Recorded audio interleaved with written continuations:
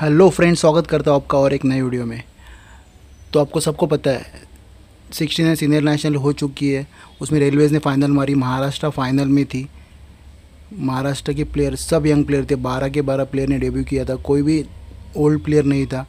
सब new player थे, लेकिन तब भी उन्होंने बहुत ही अच्छा परफॉर्म किया।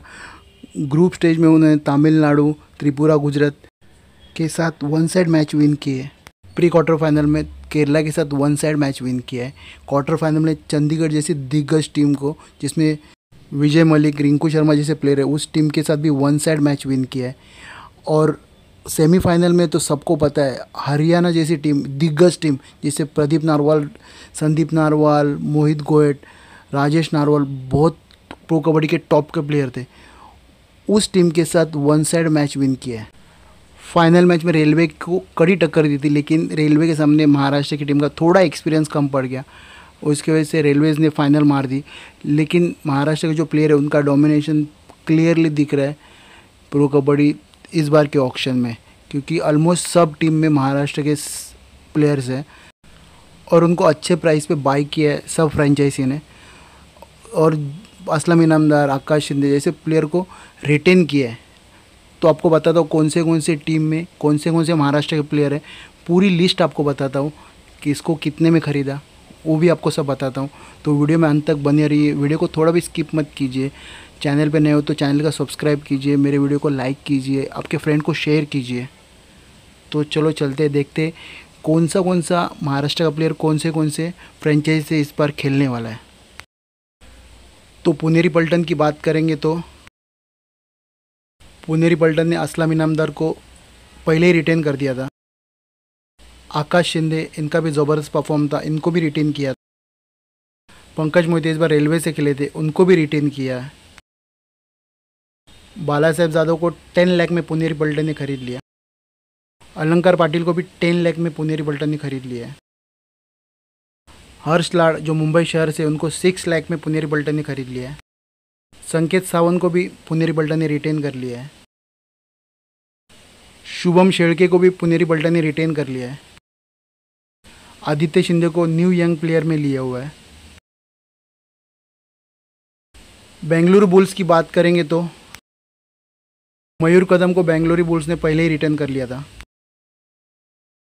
जी बी मोरे को भी बेंगलुरु बुल ने पहले ही रिटर्न कर लिया था। राहुल खाटिक इनका बहुत ही अच्छा परफॉर्मेंस था सीनियर नेशनल में। उनको टेन लाख में ख़रीदा है। सुधाकर कदम को भी दस लाख में बेंगलुरु बुल्स ने ख़रीदा बंगाल वॉरियर की बात करेंगे हम तो। आकाश पिकल मुंडे को उन्होंने रिटेन कर लिया बहुत ही अच्छा परफॉर्म किया था सीनियर नेशनल में।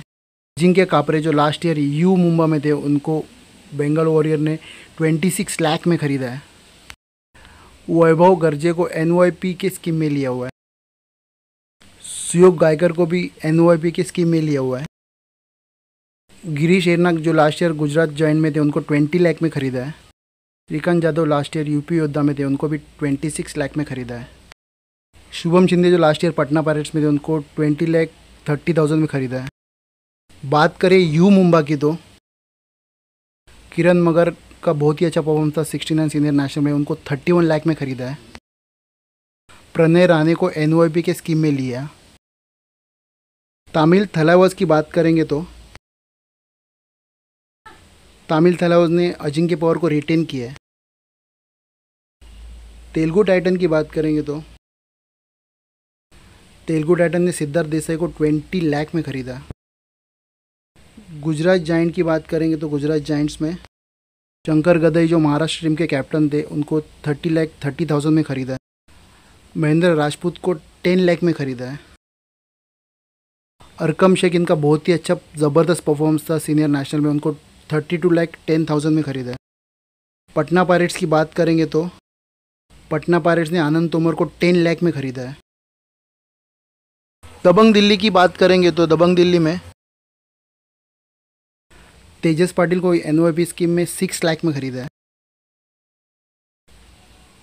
जयपुर पिंक पैंथर की बात करेंगे तो जयपुर पिंक पैंथर ने राहुल धनावड़े को टेन लाख में ख़रीदा है।